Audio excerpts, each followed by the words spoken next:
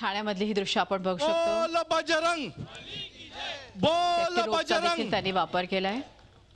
सगळ्या मीडियाने safety measures हे दाखव हार्नेस लावलेला अत्यंत नीट खाली उतरलेला आहे. मानवी मनोरे सुप्रीम कोर्टाचा असा नियम आहे की आता चढल्यानंतर टाळ्या वाजल्या नाही तरी उतरल्यानंतर सगळे वाजवा कोणालाही दुपाक दुखापत नाही झाली आहे. अतिशय सुरक्षितपणे दहीहंडी इथे साजरी केली जाते आहे.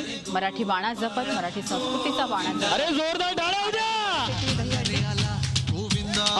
महाराष्ट्राचं लक्ष लागलेलं महाराष्ट्र नवनिर्माण सेनेच्या या दहंडीत आपल्या सर्वांचं मनपूर्वक मराठी संस्कृतीसाठी आम्ही कायदा देखील मोडू असं देखील त्यांनी म्हटलंय. ज्या तऱ्हेनं आपण बघितलं आयोजक म्हणाले जसं कृष्णाचा जन्म जर का जेलमध्ये झाला तर आम्ही जेलमध्ये जायला तयार आहोत. अशा प्रकारचं आव्हान त्यांनी एक प्रकारे दिलंय असं म्हणायला काहीच हरकत नाही. माझ्या मते महिला दहंडी पथक देखील या ठिकाणी नऊ आलेलं थर लावणाऱ्या. गोविंदा पथकाला अकरा लाखांचं बक्षीस देण्यात आलंय. करून आपण थोडस मैदान रिकामं करावं आणि महिला दहंडी पथकाला येण्याची जागा द्यावी. दृश्य ठाण्यातली आणि एकूणच उत्साह दहीहंडीचा आपण बघायला हवं. आणि त्याच्यानंतर मग तुम्ही लावा महिला बघतोय हे थरावर. थर थरावर थर असे मानवी मनोरे इथे रचले जातात.